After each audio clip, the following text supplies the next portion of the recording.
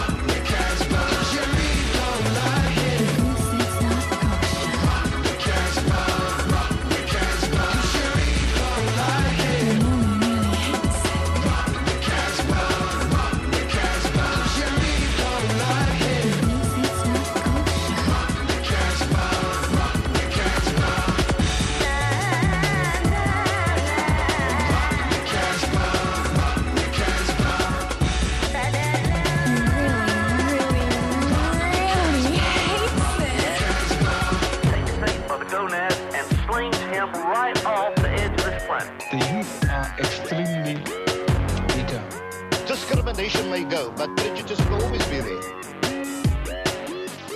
Take Satan by the gonads and slings him right off the edge of this planet.